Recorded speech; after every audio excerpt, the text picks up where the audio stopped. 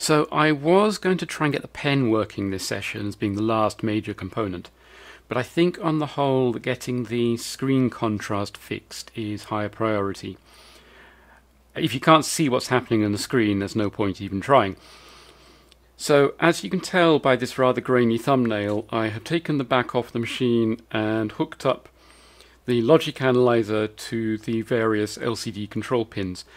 I have managed to trace them to a chip on the LCD board that is underneath this, but I haven't been able to figure out what, what chip it is yet and therefore what the datasheet is. So until then, I don't know the command set. So rather than try to figure it out from uh, decompiling the uh, where did I put it? Here we go. Decompiling the PalmOS ROM. What I'm going to try instead is running the PalmOS ROM and changing the contrast setting and seeing what happens with the uh, controller chip. So we should be able to snoop on the conversation between PalmOS and the controller. So this is hopefully what it's doing. It is running PalmOS right now. If I peer under here,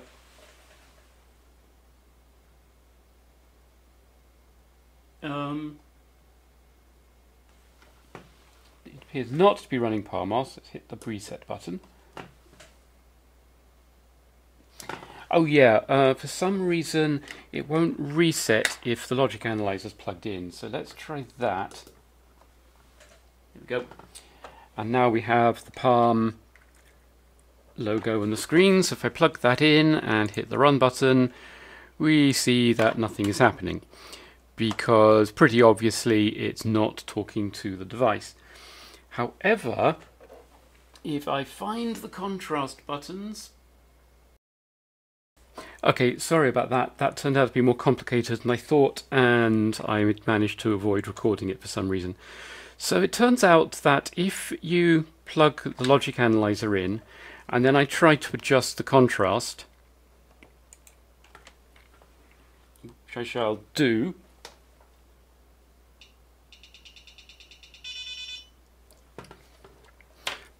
the screen turns off. However, uh, I suspect what's happening is there are pull up or pull down resistors which are less strong than the ones in the logic analyzer. So the logic analyzer is disturbing the voltage signals and everything is going haywire. Now, we do however get a set of commands. This should be it changing the contrast. And we see a, pulse train.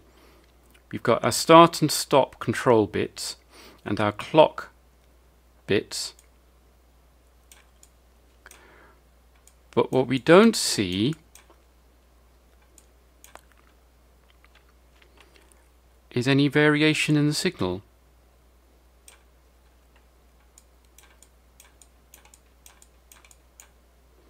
Like this is always the same.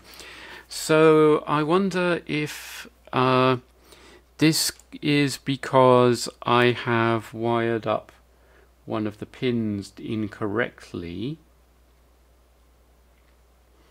or it's just not being picked up.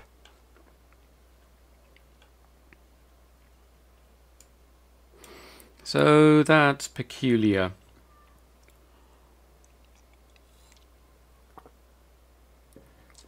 So I'm going to pause it and take this thing back to the workbench and double check the wiring, I think.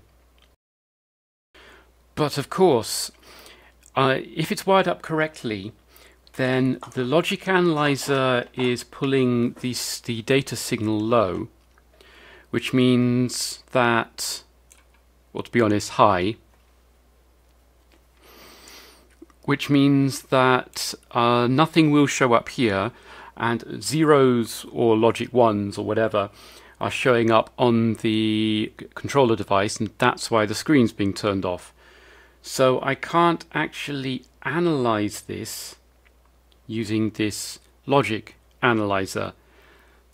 That's fabulous. Uh, yeah, whoopee. Okay, so we can't control the screen, but if I were to hook up the analyzer again, throw the switch so that it boots into bootstrap mode, and uh,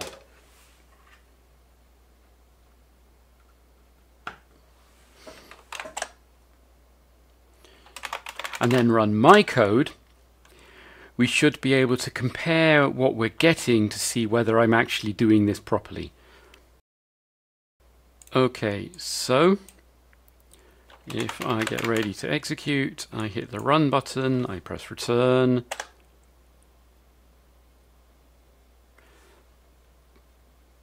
stop, we get a signal and what do we see? So this is pretty much the same pattern. There's a I've got I'm sending two bytes next to each other with a very short delay that's possibly wrong. We do see in the init code this is the init byte. It should be sending hex 70 and this is the actual contrast byte. Uh, we should be able to see this happening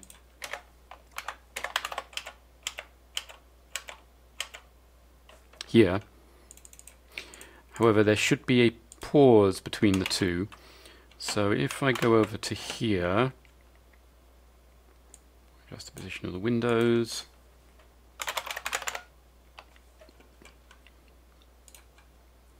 So in display init, here it's doing the thing, here it's writing out the 70 byte. Here we send the termination bit and then there's a couple of delay traps. This one is 4E20 uh, which is 20,000, 20 milliseconds. So that's worth doing.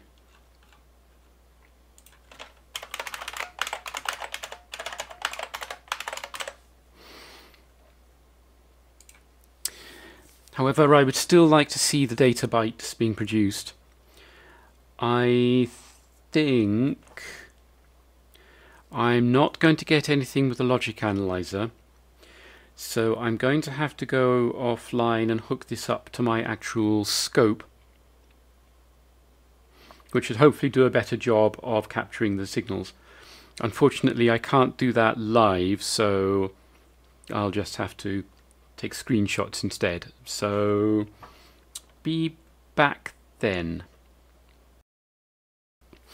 Well, I did manage to get a oscilloscope trace, which you should be able to see on the screen now.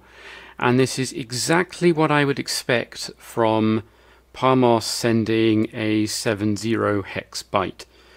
Uh, all clock and data signals are exactly the way I expect. The signals are active high, etc., etc. So I think I'm doing the right thing here. Uh, however, while I was getting this capture, the machine stopped booting into PalmOS. It just resets continually. So I think some of its internal storage that does have a battery here is now corrupt.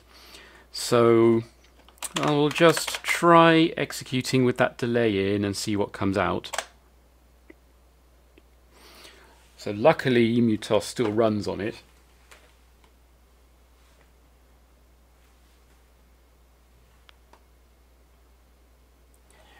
And it is indeed still the very dark screen.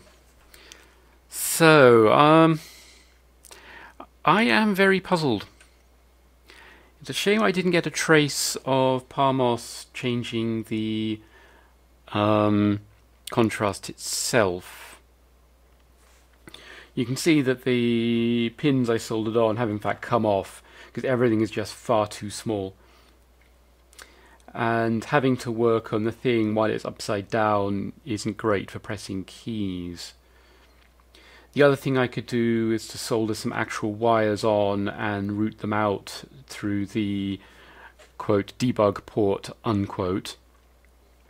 I do also have a built-in command for adjusting the contrast. It just sends a byte to this.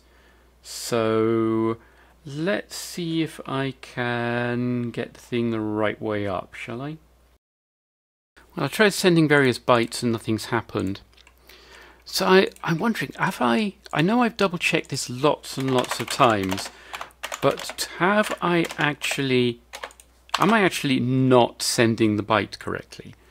Well, now we know what a decent signal is supposed to look like.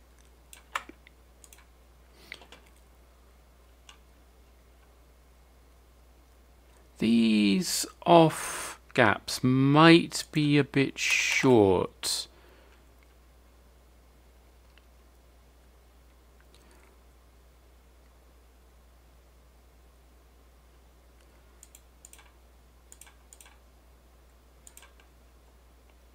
But this is their code and I am copying it almost exactly. Anyway, so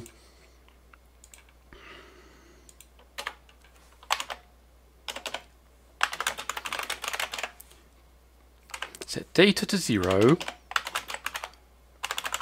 command to one,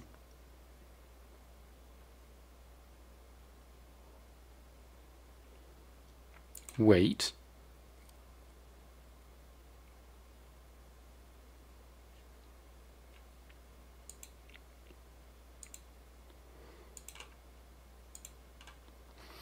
So of the three bits, we've got 4.0 in PF data, uh, which is the data.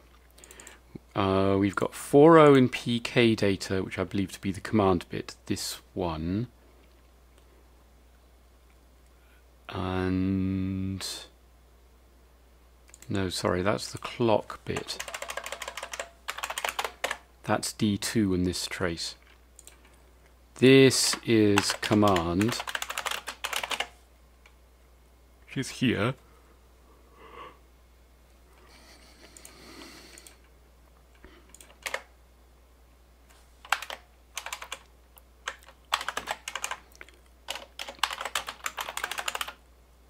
Command to zero.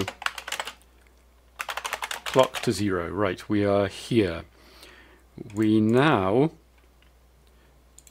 do the data itself. We set the bit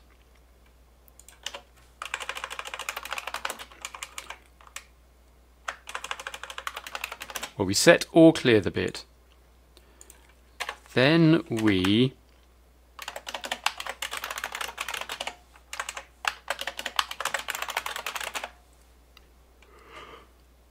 Then we clock,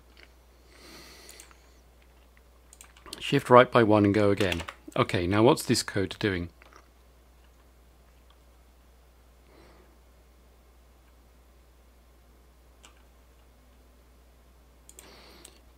Uh, PF data, that is 1011, that is unsetting, that's doing this.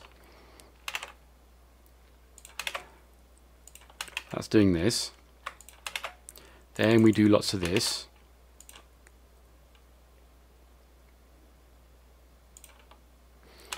Then we undo that bit. Then we undo that bit. Okay, that is the same code. Alright, D1 becomes our... Oh, for heaven's sake! Oh, Rah. Okay, I know what's going on. This and is backwards. So, uh, this is... I'm used to instruction sets where the destination is the first register, but on this, the destination is the last register. So what this is doing is adding the two together, and instead of sticking the result in D1 where it will be ignored, it puts it in D0, which is our data, and it all goes pear-shaped. Okay, let's get rid of that. It means we discard all bits but the first. That's why we can turn it on or off, but no more than that. Okay, here it goes. In fact, I had made an additional mistake there in that just changing this to an AND was uh, with the destination D1 was in fact clobbering the bit number as well. So uh, I just changed this to be a B test and a bit index and a subq and a BGE. And it all works fine and we can change the contrast to our heart's content. And it appears that 100 is a decent value. And with luck, this is showing up on the screen in a reasonable fashion. Who knows? Okay, so I'll just check this in. Uh, we do at least now know what the various... Uh, I will just make sure that comment is up to date. Uh, clock is 40 pk data. So pk 40 LZ contrast clock. This is start stop bit. This is data bit. Okay. So I am wondering whether to call this short now. Oh yes, we. This is our new contrast code which got hacked into the CLI, which we don't want to keep there.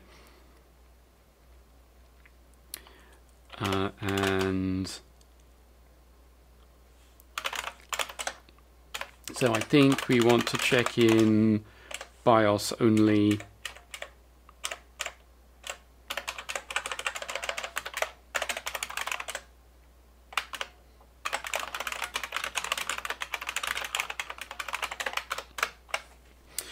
So I think, well, we could get started on the pen, but uh, that is going to be a little bit complex.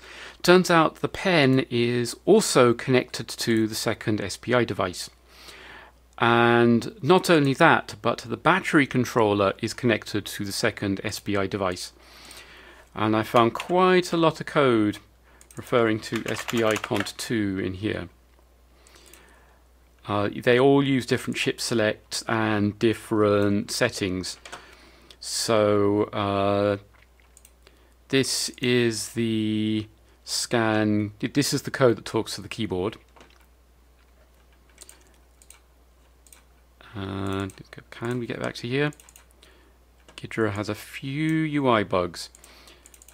So this is the code that talks to the battery controller and uh, I'm a little bit confused by it because it does not appear to be setting the chip select before it sends the data. Instead, it uh, well I assume that this line here is doing is adjusting the chip select and this happens after it triggers the um, the read-write transaction. But this does definitely look like a chip select, so you can see it turning it back off here by raising it. Anyway, uh, that is a value for PG data. Have I put that in? Yes, I have. Uh, the pen. Uh, where did I put it? Also, what's interesting is that it all seems to be copies of the same code. Don't think that's it. I did find the pen code. This is the keyboard controller code.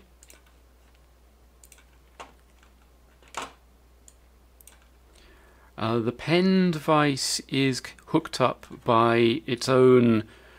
Uh, let me start that again. The pen touchscreen controller is is also connected via SPI. I did find the uh, chip and the datasheet, which is a big improvement. So it could be this. I don't know what BB get XY is.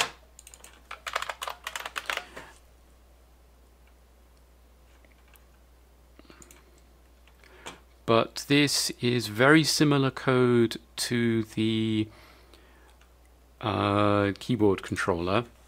Let me just comment A249 Nop. Okay, so this is calling this code. Yeah, this is almost identical to the uh, the battery controller code. So in fact, we can look at this and see FB of PG data is also that same bit.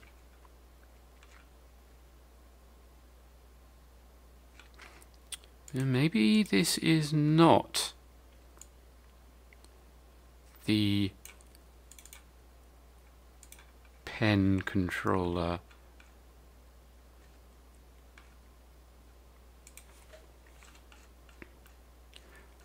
What's this function called? Here we go, pen get raw pen. So I think this is the one we want.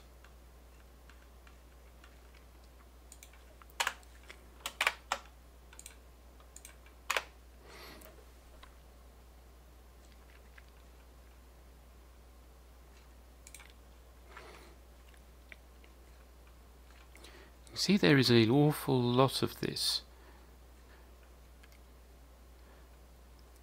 So was I wrong about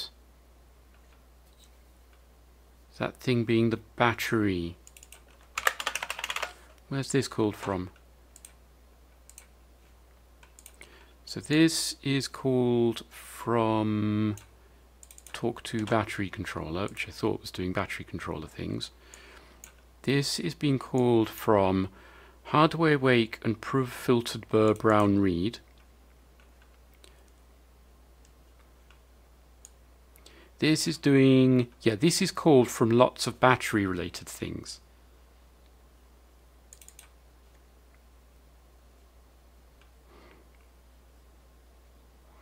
So you can see that this is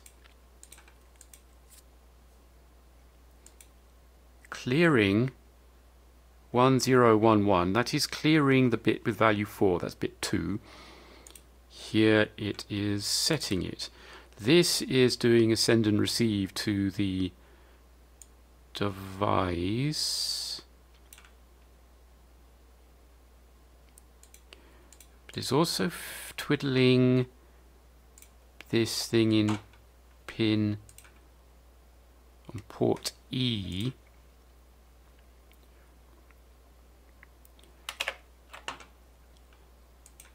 Uh, see, I thought this was the battery.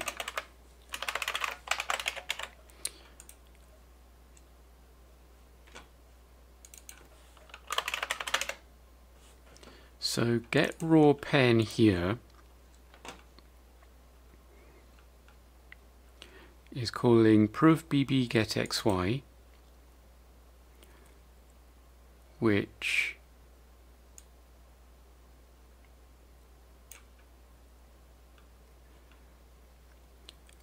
twiddles port F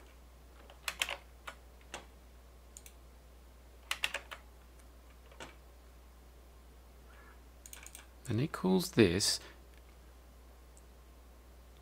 Yes, and this touches port G.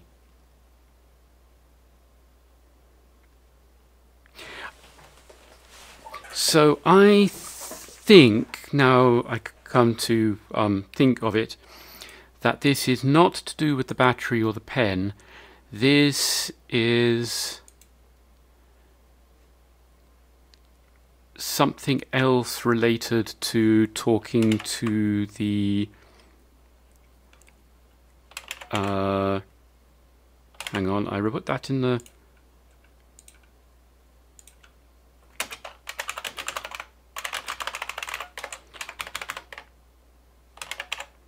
No, that's port G. Yeah, I think I've been... I think I've been writing these things in the wrong place.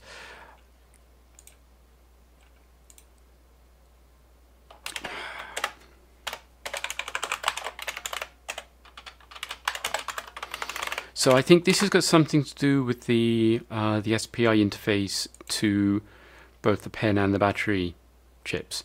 This is probably routed to both things, which means that the pen chip select is most likely this. So that's port F, so this could be pen chip select. So now if I go to talk to battery, battery.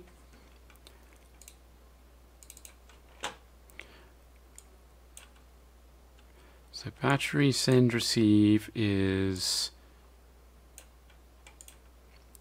yeah. So let's call this battery and pen send receive. You see this is called from there. However, if you go find something that's definitely the battery, Prove battery command alkaline detect read. That calls this thing. This called get raw pen.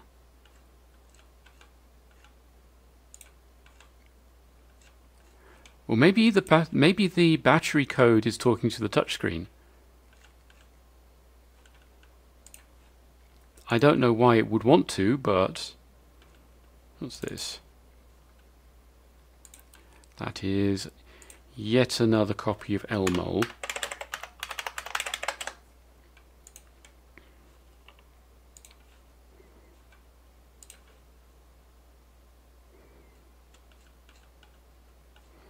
What's this that's next to it?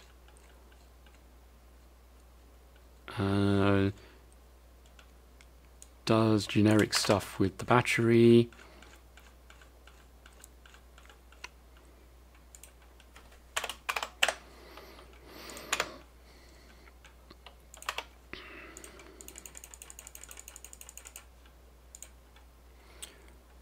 So hardware charger on just sets a clears a bit even. And so that is yeah wrong one. Convert unsigned hex bf 1011 that is bit 6 of j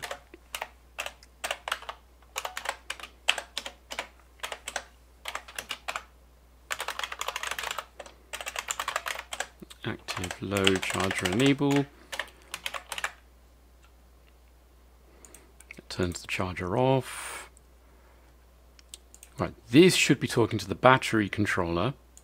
I mean, I don't think there's any other way it can do it. What's this?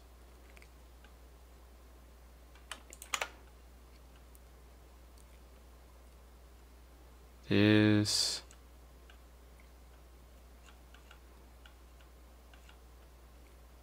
Doesn't have a name. Where does this come from? Is this actually a child subroutine of... Yes, it is. This is not a function. I put this in the wrong place. I should be able to keep pressing delete. Can I delete this? Yeah, there we go.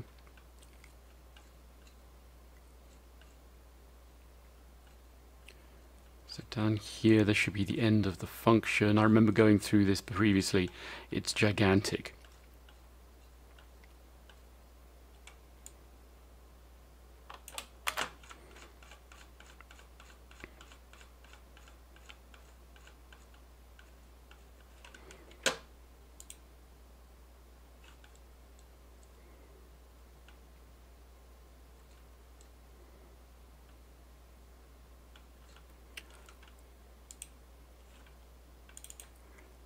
Is here.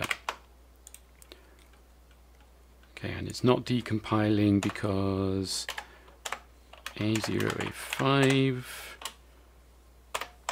not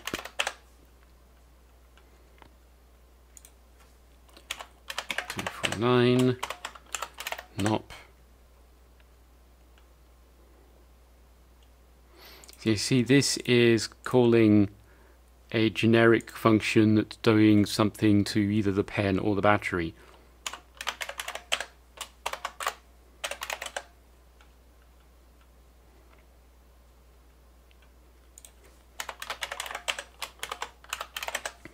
These system calls are annoying because Ghidra doesn't know how to turn them into uh, branches, well, subroutine calls. So it ruins the ability to generate decent code.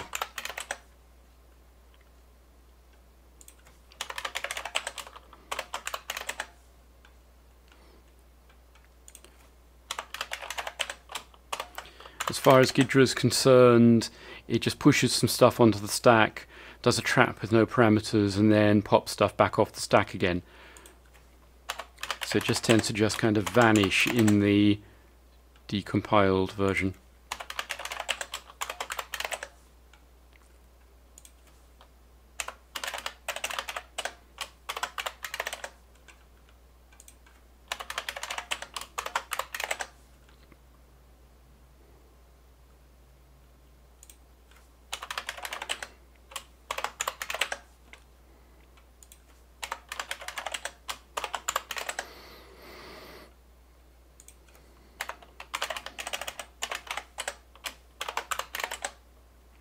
Okay, hardware battery master read.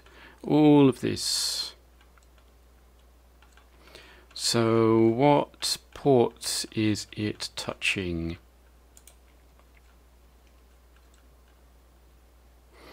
Well, this pin seems interesting.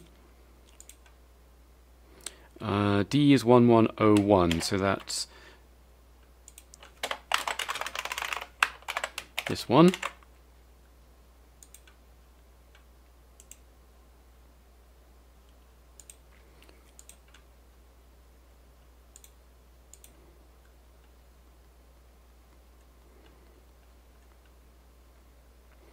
Hardware charge off, yeah, that just sets that bit.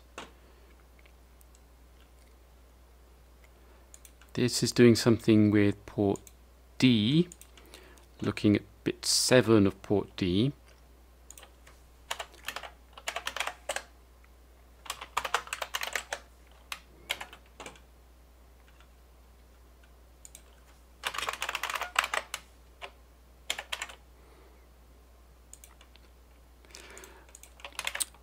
Uh, see, this is not initialized as a GPIO, so it's an interrupt line. So I don't know what reading data here does.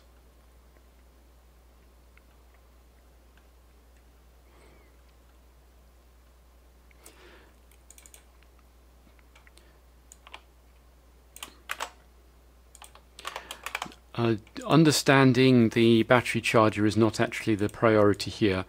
What I want to do is to try and figure out which is the chip select line for the battery so that I can identify what the chip select line is for the pen. Then we should be able to just talk to the pen controller. So this is definitely talking to the pen. Like, this is not my name. This name came from the...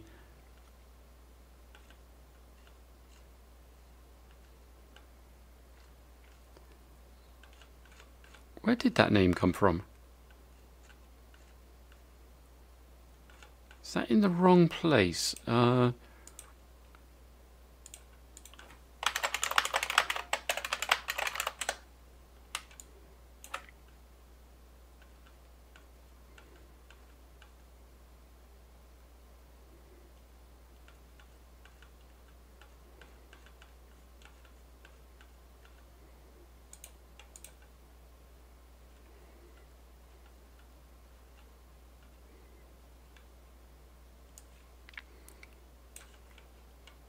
I have two of these in the...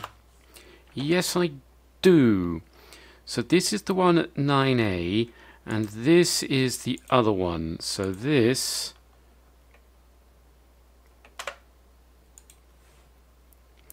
is not the one I want. This is the pen code. Right. So what's this doing? It's IPR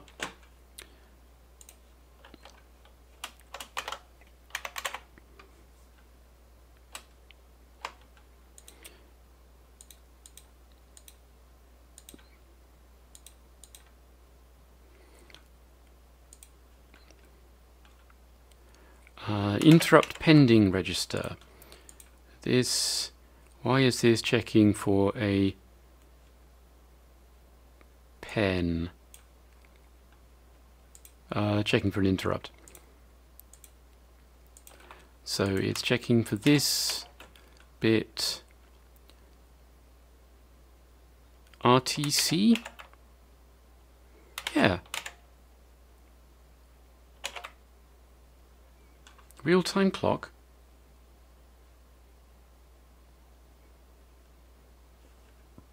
Level 4 interrupt event from the real-time clock is pending. I, why is the pen code touching that? Exit if there is no real-time clock bit pending. That makes no sense.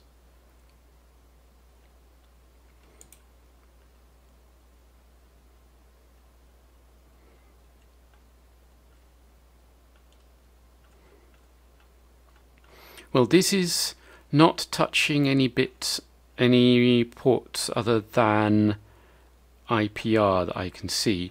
So it's going straight into here.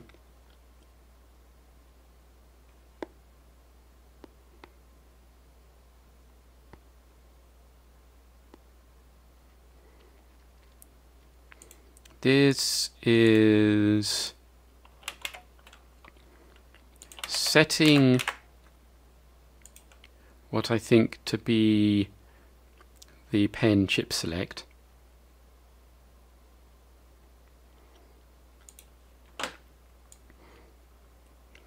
And then it's calling this.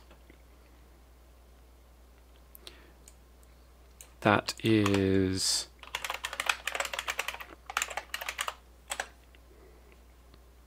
reading and writing the pen and this takes a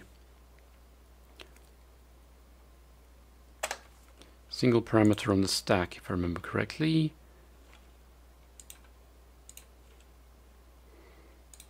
Here you see it's pushing a word onto the stack.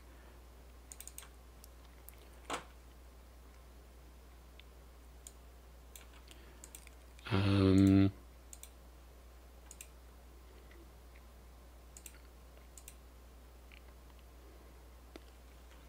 So this is turning interrupts off.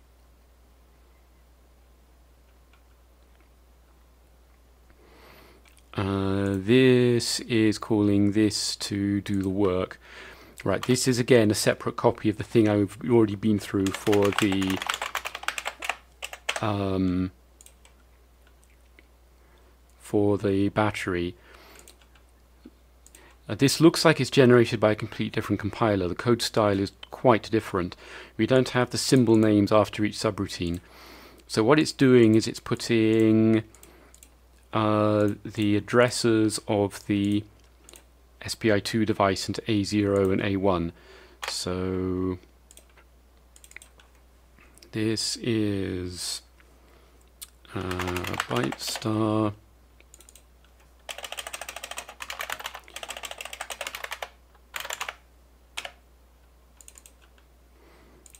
Pass the register in A0.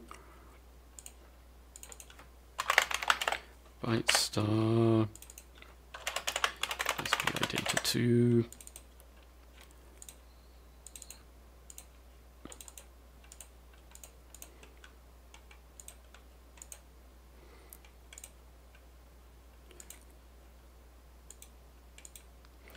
and I believe it's inlined it in this code here.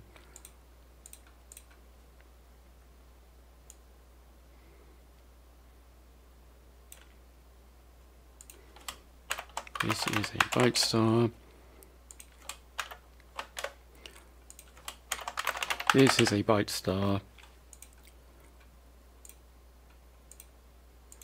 No, it's not. These are word stars.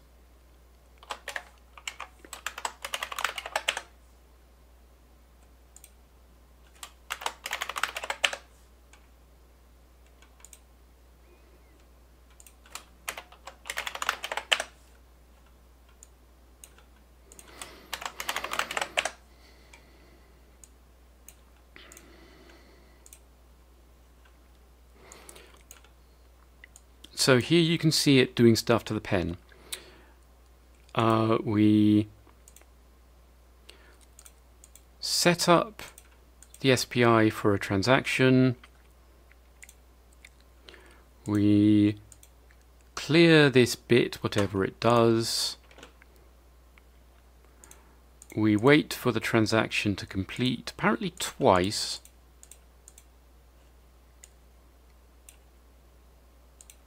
Oh, yes, there's a third parameter.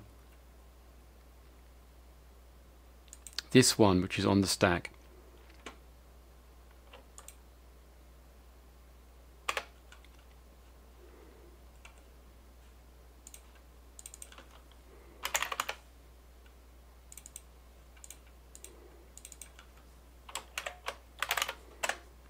And this is stack plus OXE word, so it's always two bytes long.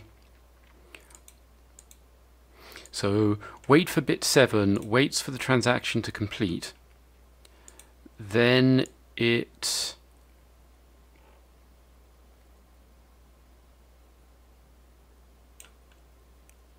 uh, right, that's not wait for bit 7, this is wait for bit 7. And this is a word star. This is a... So what this is doing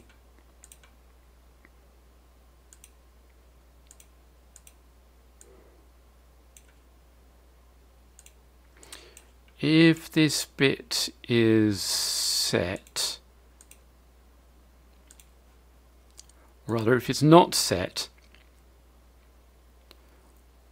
send it out and wait for a transaction to complete.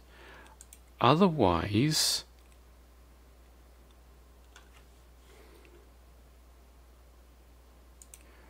do more complicated things.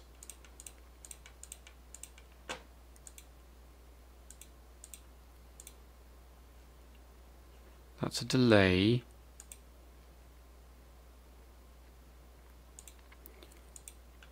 Yeah, that's complex. And I don't really follow what's going on, but it's not called wait for bit 7. Uh, this is do pen thing. So the do pen thing is calling wait for bit 7 read write pen is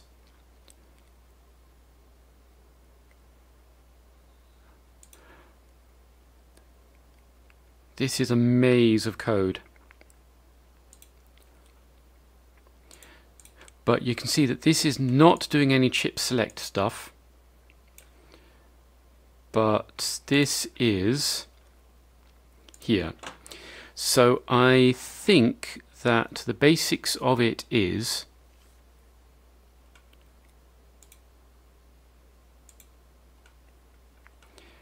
this is the pen chip select. Then it uses the SPI interface to talk to the pen.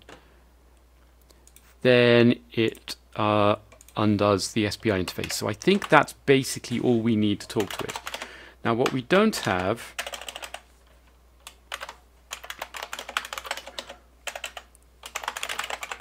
is any information about how this chip works. I mean, we've got the data sheet, but it's complicated, to say the least. So, uh, actually getting anything out of it is going to be exciting. So as far as I can tell, you send it a command byte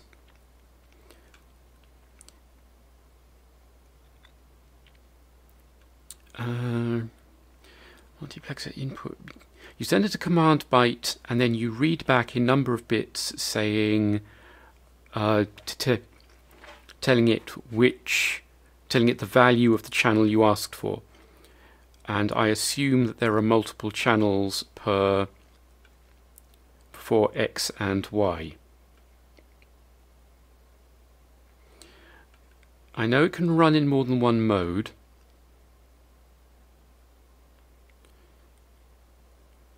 And I don't know how this is hooked together.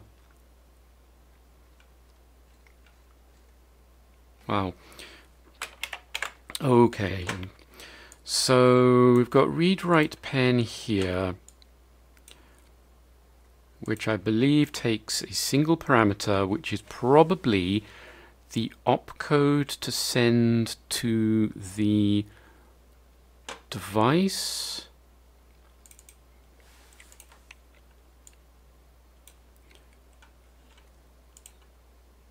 So that's being pushed onto the stack, therefore this parameter is going to be at 4 param1 yeah. So let's call this opcode.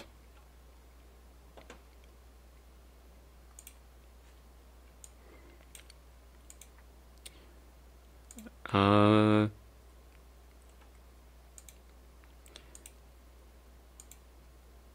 however yes this is the extra parameter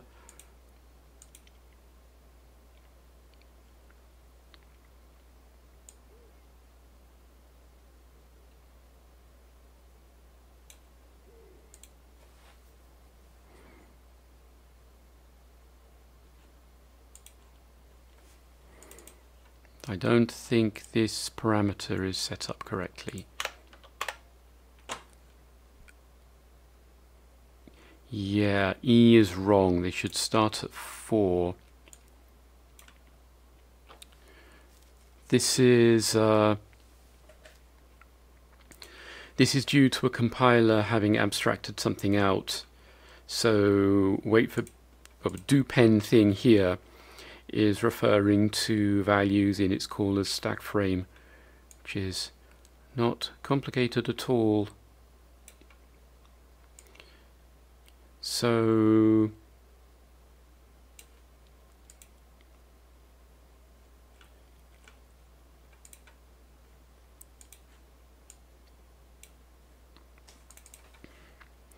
Okay, so if we tell this that there's a dummy value, let's go here, it's a D word and it's a stack 4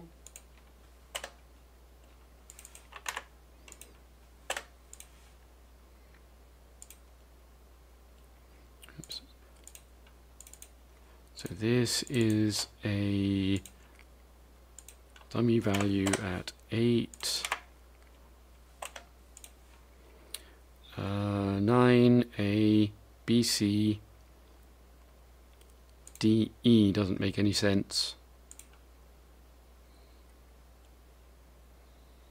C, D, okay, there does need to be another one.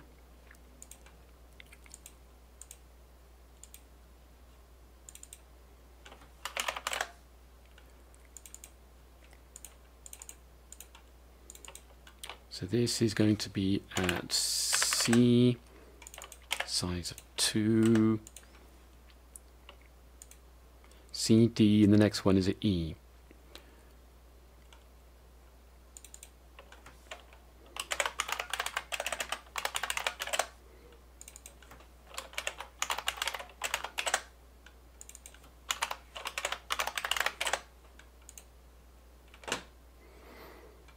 So this code,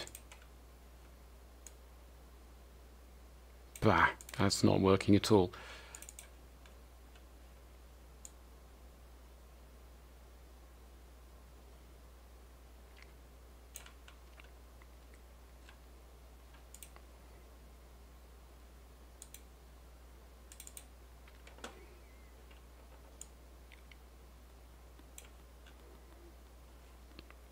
Okay, anyway, uh, this value here, I believe to be the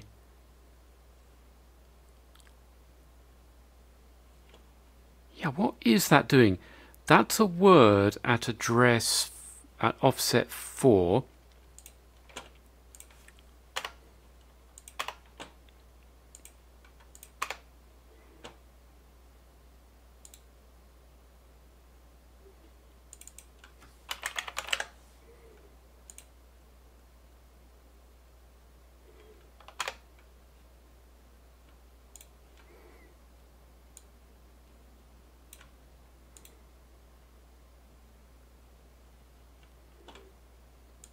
and is being referred to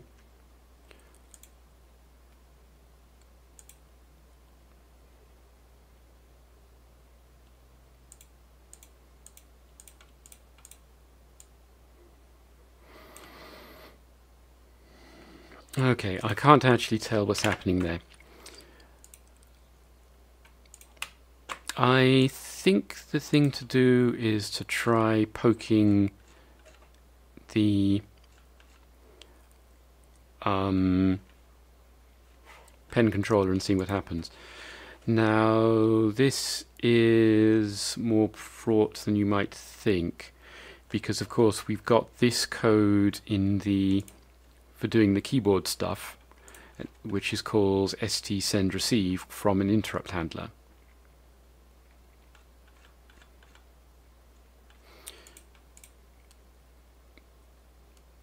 So we're going to have to make sure the interrupts are turned off around our uh, talking to the pen, to the touchscreen controller, in order to make sure that the interrupt doesn't come along and reprogram SPI2 while we're working on it.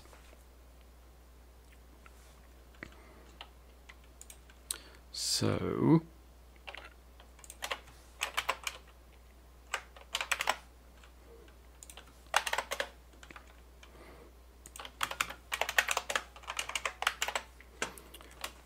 Now this is done by reading SR and then putting the value back again and I'm sure that the BIOS has got code for doing this.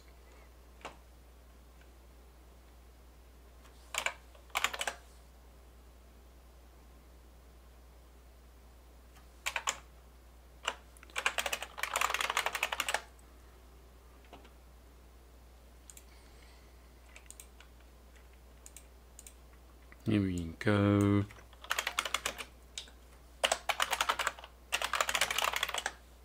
There we go. All right. So that's word all SR SR 2700.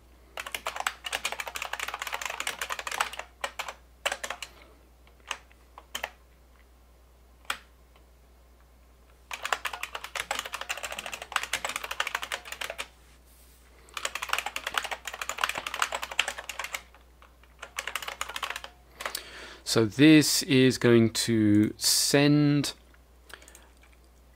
uh, and receive a byte. However, it's still set up to send it to the ST microcontroller. So we think that our pen chip select is on F1.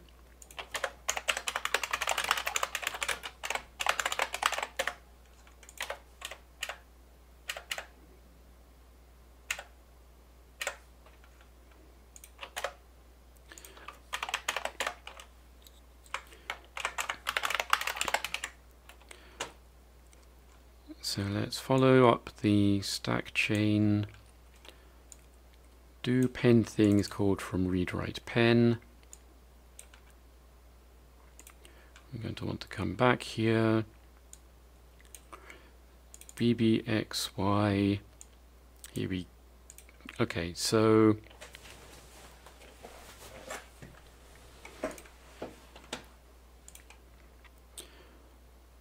Uh, this is PFP is the pull-up register.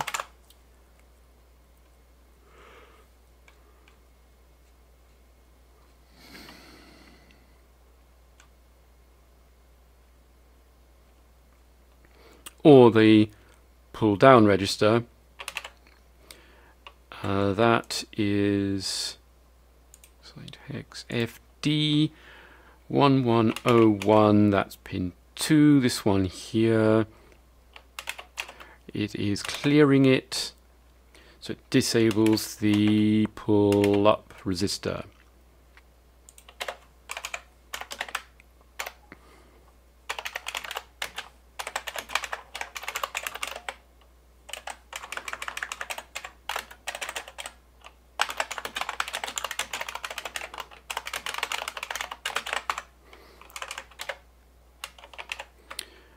Uh, it then raises the chip select line, assuming it is a chip select line.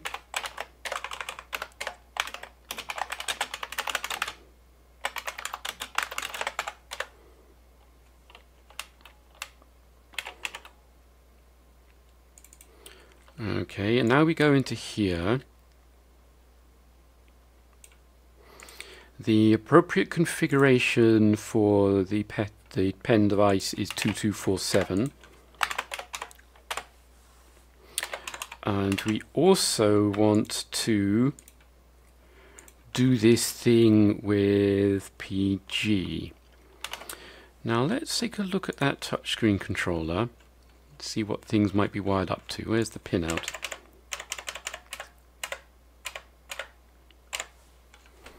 here. So serial data input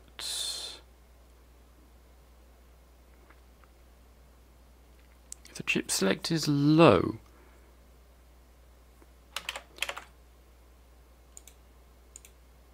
but we've raised this whatever it is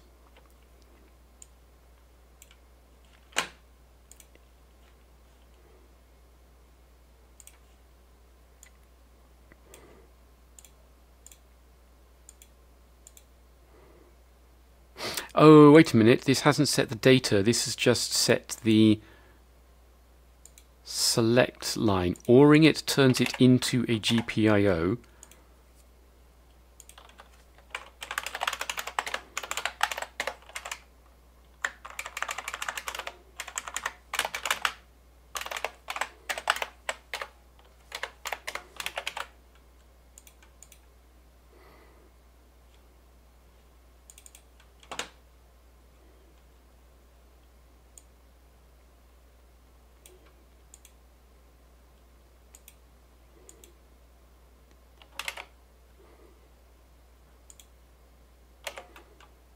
What is that bit?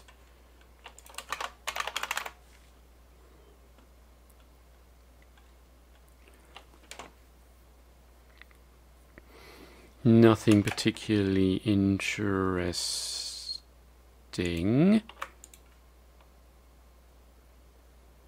Wait a minute. IRQ5.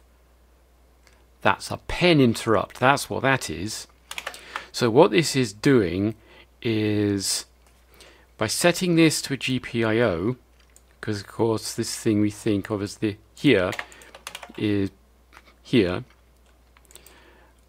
we stop it being an interrupt and therefore we know that no pen interrupts can be showing up.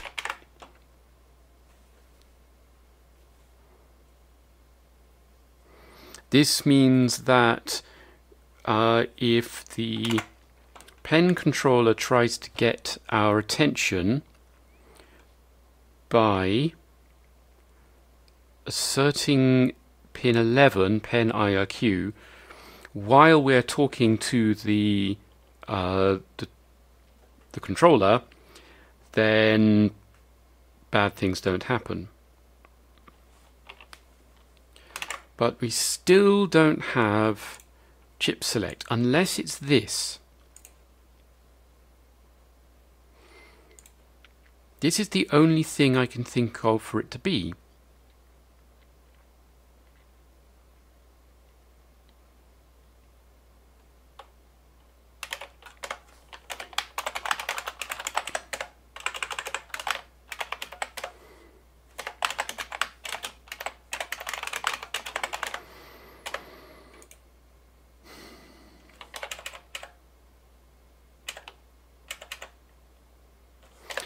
Okay, well, let's stash this in here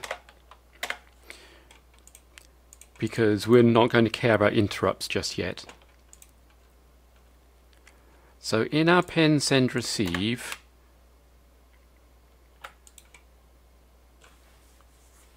wait, PE, oh that's the, let's look at this one. So I think that this is the one we particularly care about. So, B is 1011.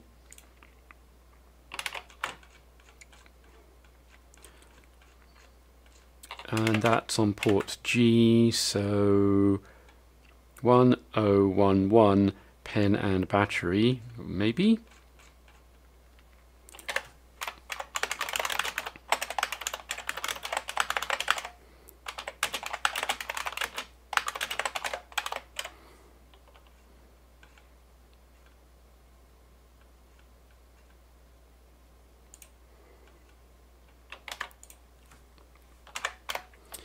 Uh, therefore, PG data and equals not pen chip select should lower this uh, pin chip select on the um,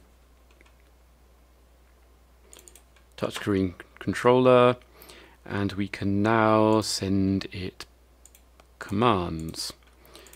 Right, now the bottom bit, the bottom nibble of the uh, SPI cont 2 is the number of bits to transfer minus 1. So clearly this is an 8-bit command and this is a 7-bit command.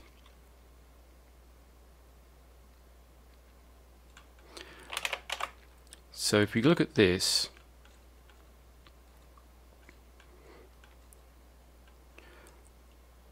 Our commands are, well this says 8 bits wide.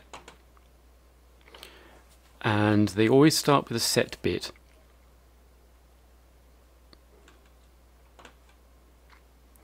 And the response we get back is 8 to 12 bits, depending on whether we're in high or low resolution mode.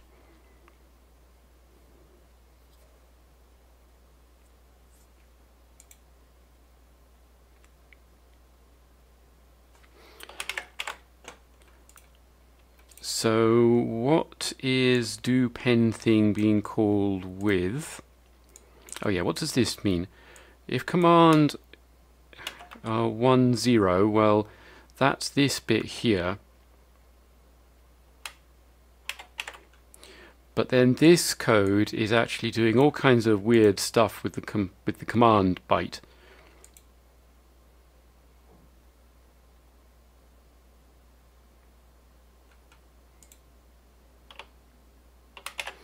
So it looks like if A0 here is not set,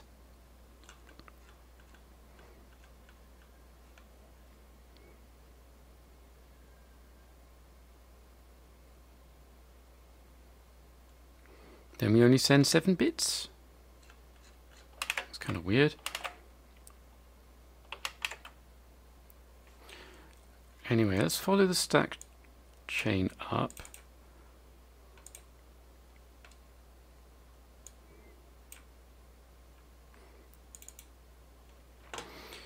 So that we're sending two commands, which is 90 and D8. And this is passing in two parameters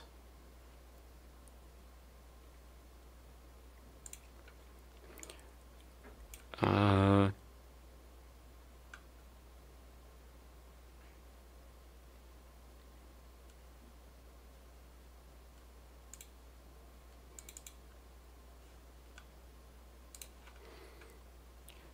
think read write pen takes a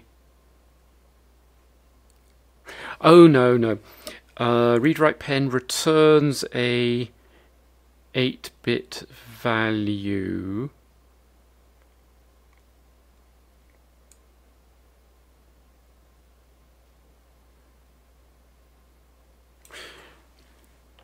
Okay, so 90 is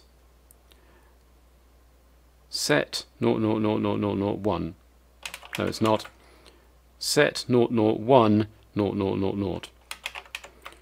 D8 is 1101 1000.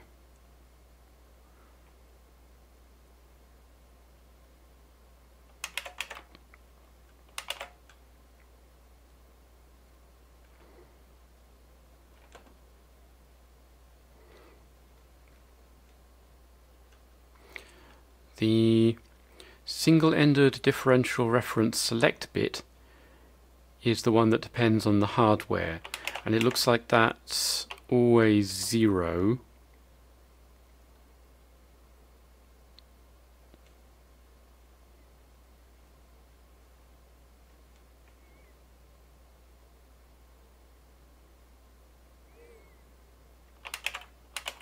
Okay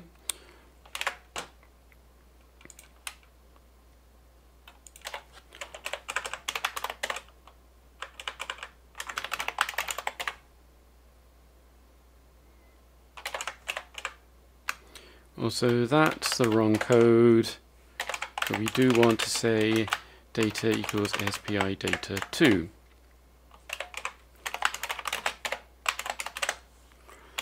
So I believe we need to initialize these.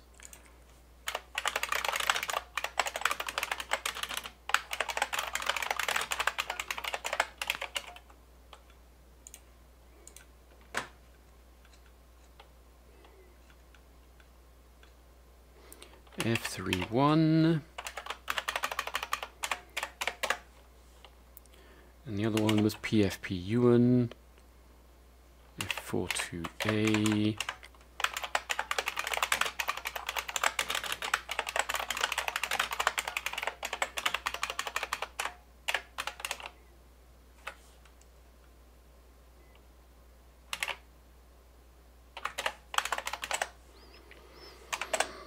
Okay, so that builds.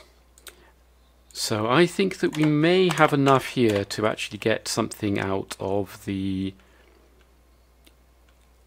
pen controller. So let's just do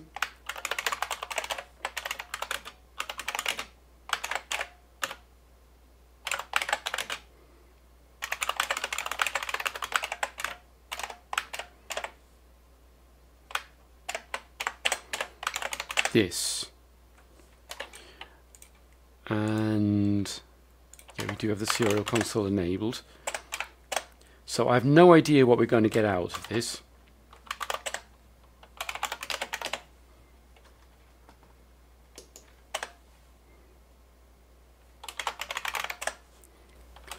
Okay, so let's execute and nothing.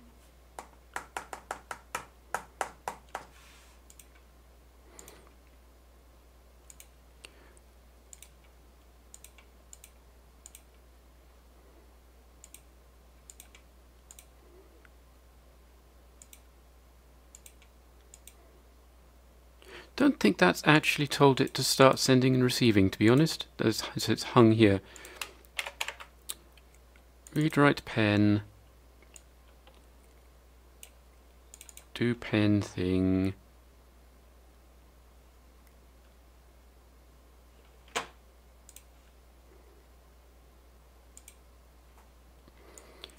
Two two four seven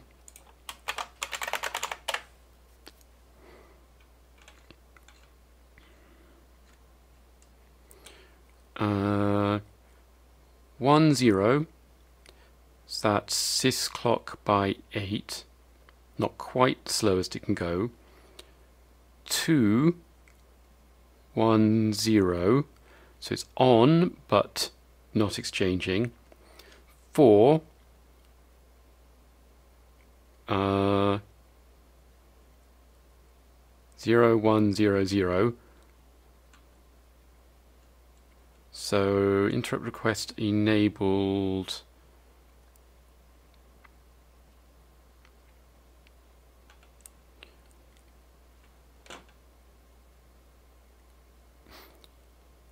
Um, that I've been here before for the SD code.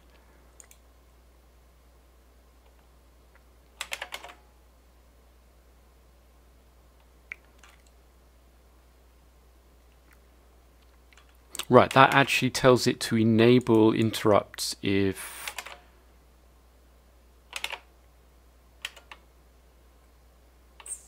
four seven.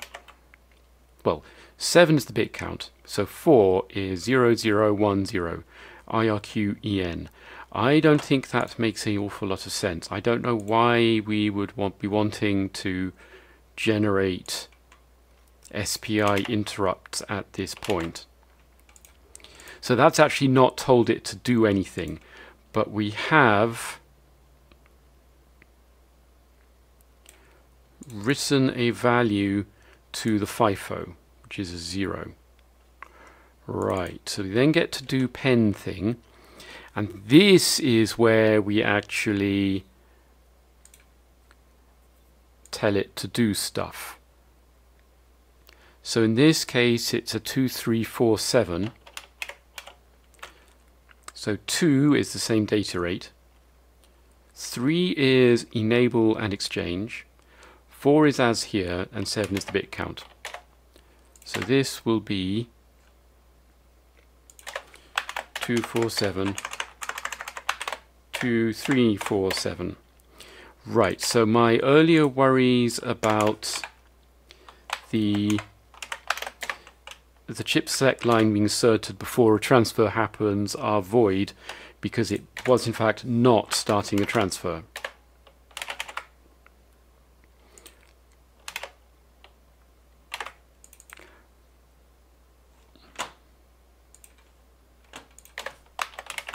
Okay, let's try this.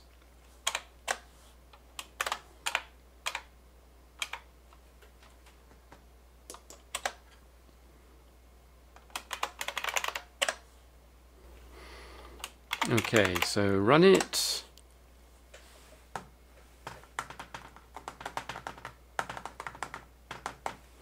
We get a lot of the same byte. Now, I did go look for Linux drivers for doing this, and there is one. And it's huge. Like, really huge. 1500 lines and it appears to use lots of stuff involving you know voltages and resistances. So this could be tough. But we are still not talking to the uh, the chip So what we receive is a appears to be a one zero.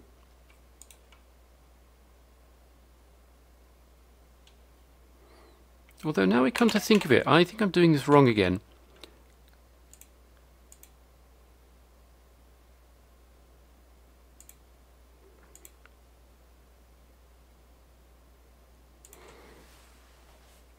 So we clock out our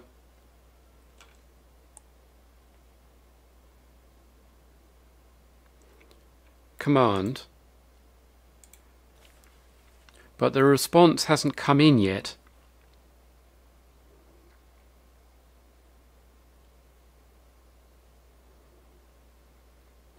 So, uh, so what's this doing? 2240 to 2 is enable no exchange for but the bit count of 0 is 1 bit.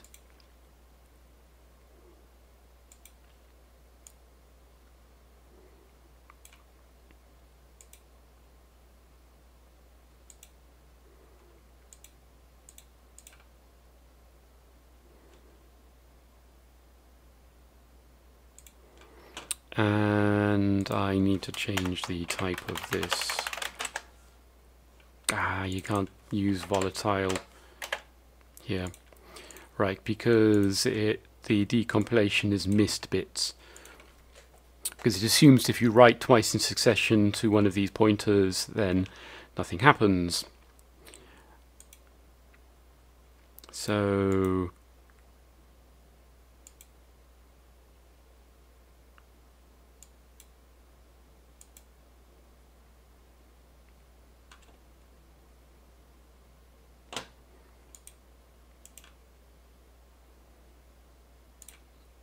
Um, this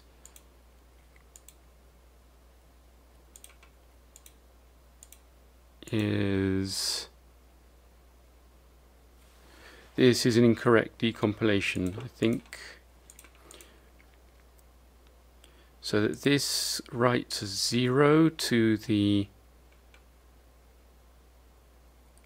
uh, to SPI data it's writes 0 to the transmit buffer.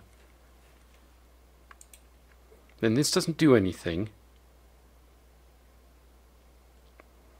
But then we do this. This does a send and receive of a single bit.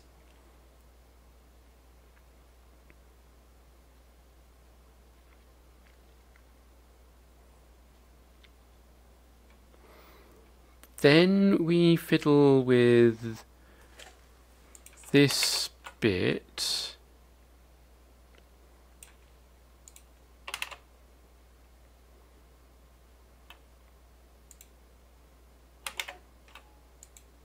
Which I thought was the battery.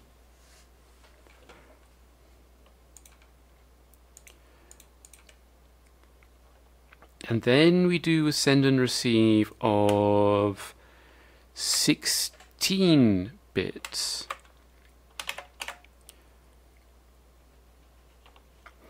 So I think what that's doing is trying to read all possible bits of the response, of which there could be up to 12. And then it says zero fills until you run out of clocks.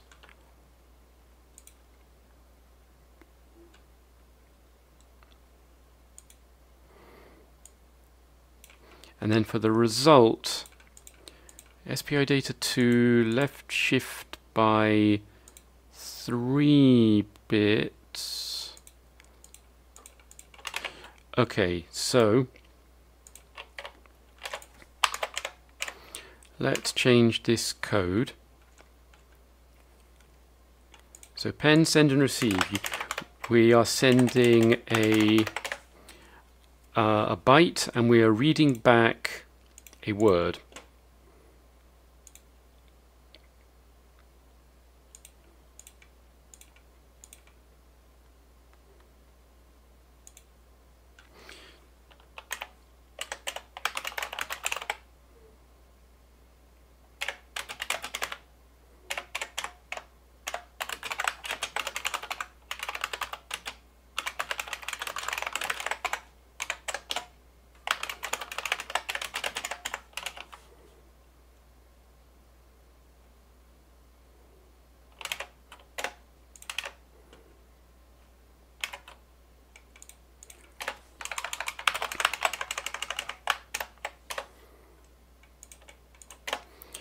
So let's try that. Do we need to wait?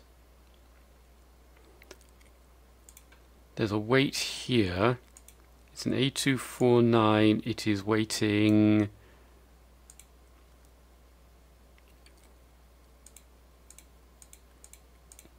a little. Uh, the actual amount being weighted appears to be coming from uh, this structure here, whatever it is.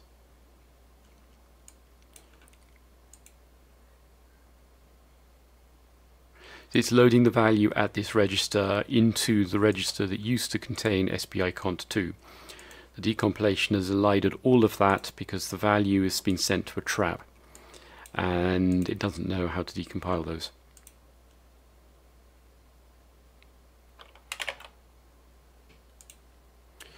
So let's put a delay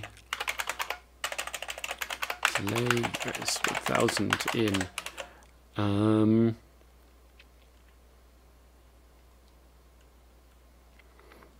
actually, it looks like it can happen more or less immediately.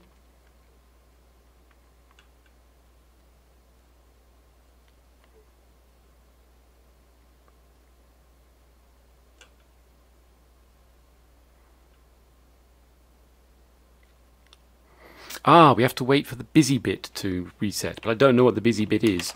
And it doesn't seem to be any code here for doing stuff with the busy bit.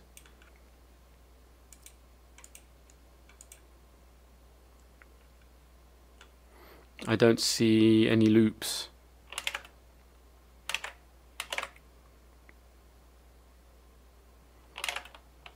Okay, let's just try that. I'll try it like that then.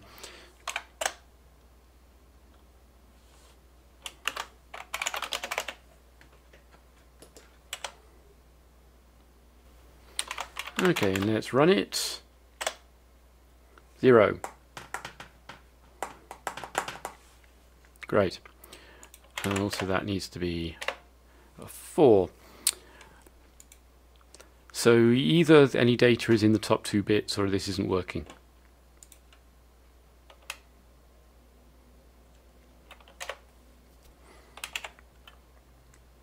So this code does seem to be setting SPIcont2 to a different value, so maybe we need to do that. Also, that should be an F, not a 0. So 224F. So that was actually trying to read one byte, uh, one bit. Blah. Okay, now what do we get? Well, it looks like a number. Oh!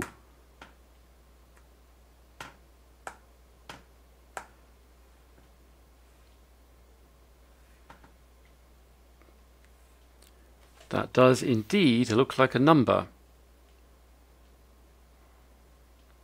There's my stylus.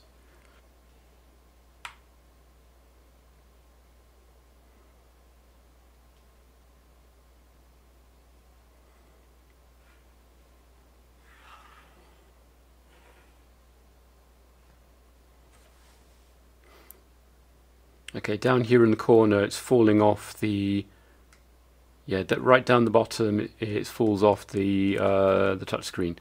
The number goes like that. Now, I expect there to be three channels for X, Y, and Z.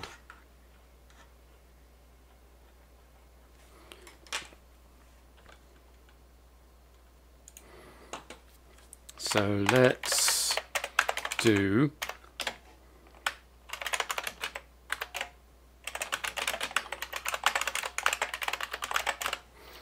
Well, 90 is clearly channel X.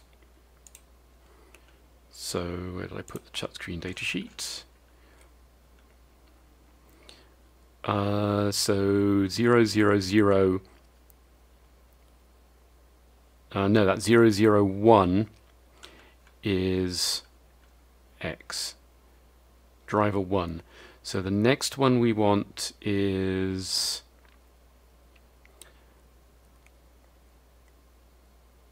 Uh,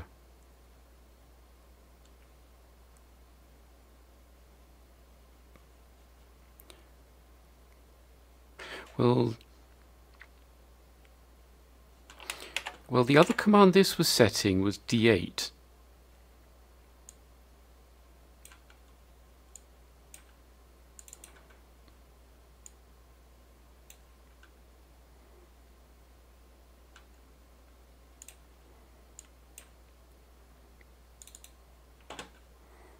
Here.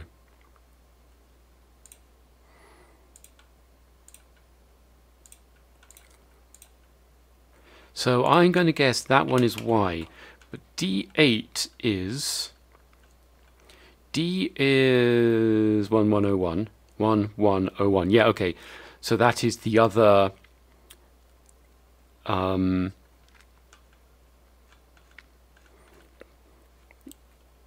the other channel, this one. I think this touchscreen isn't is is connected sideways, to be honest.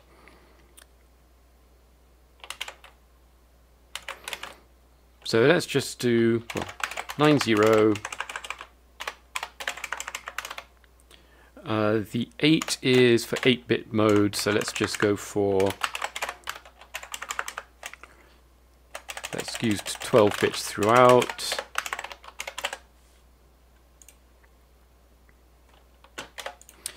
Uh, and we will measure Z as well, so that's going to be F0, like so.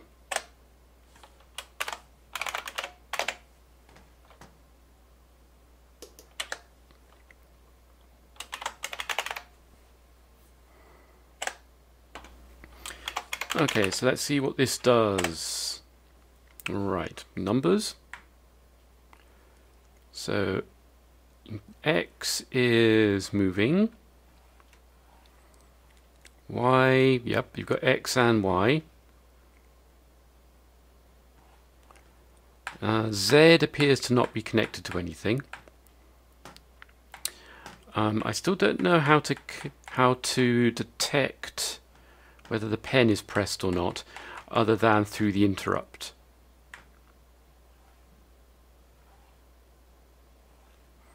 It's possible that's all we need.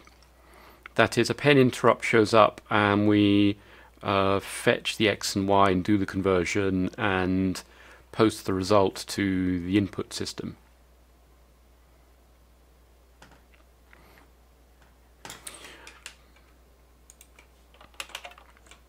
Um, so this is connected to...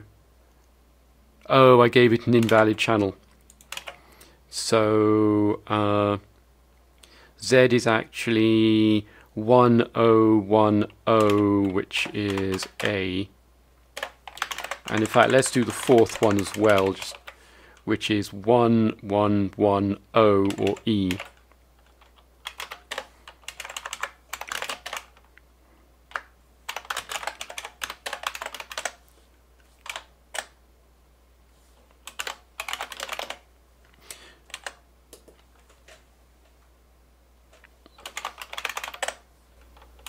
Okay, let's execute this. Right, numbers.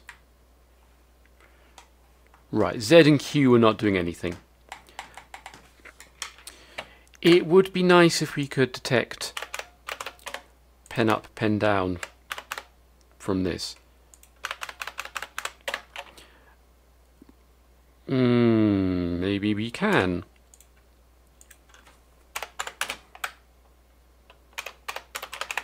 So if the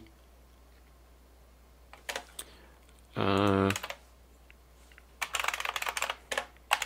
if the pen interrupt is configured to be a GPIO, then we can actually see the value.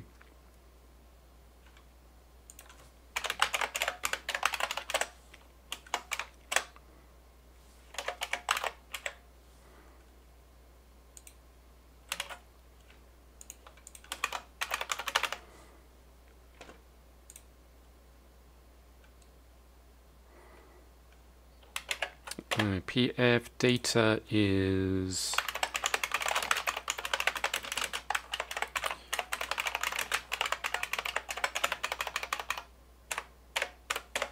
42D, 429.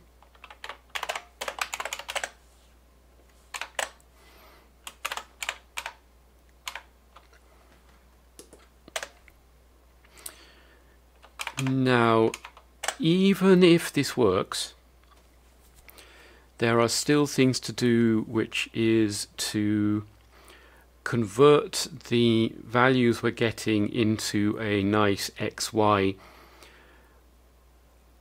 uh, and send it to the Atari operating system.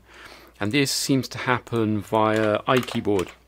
So what we're actually going to be doing is pushing a sequence of bytes to keyboard vec here.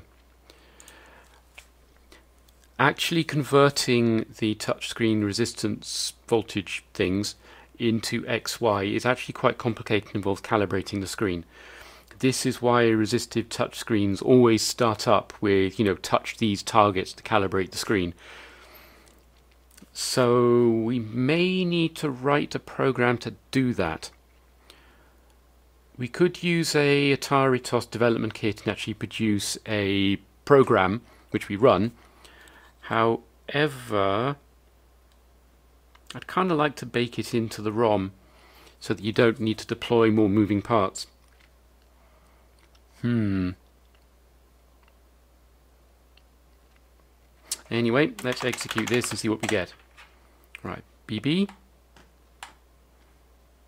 Presto! That works nicely. Right, we now have a successful interface to the touchscreen. We do need to do all the front end of it, but I need to go figure out how to do that. So I am going to leave it here. Uh, the other thing we can do is hook it up to an interrupt line, which looks reasonably straightforward for this. It is IRQ5. Yeah, you can see that X has got the lowest value down on the right hand side of the screen and the highest value up on the left. Well, Y does appear to be roughly the right way around. I don't really like that dead zone at the at the bottom.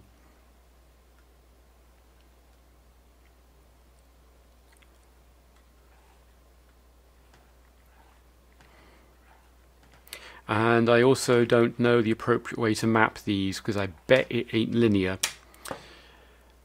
Yes, good. Well, that was much less horrifying than I thought it was going to be. We may be spamming random bytes to the battery charger so that if we put a battery in it, it will explode.